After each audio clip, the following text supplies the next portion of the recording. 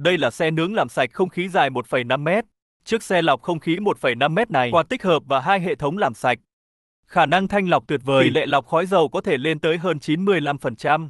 Đầu tiên cho thấy quạt đang hút khói, lúc này lượng khói trong lò nướng rất lớn. Bật quạt của xe lọc không khí. Sau khi mở quạt, khói trong lò hút vào xe nướng ngay lập tức. Cửa thoát khí bên trái, khói bốc lên. Bên dưới mở công tắc làm sạch của xe nướng. Sau khi chức năng thanh lọc được bật, cửa thoát khí bên trái không có khói, khói đã được làm sạch. Tắt chức năng thanh lọc để so sánh. Cửa thoát khí của xe lại xuất hiện khói dày đặc. Mở lại chức năng làm sạch không khí. Ngay lập tức không có khói.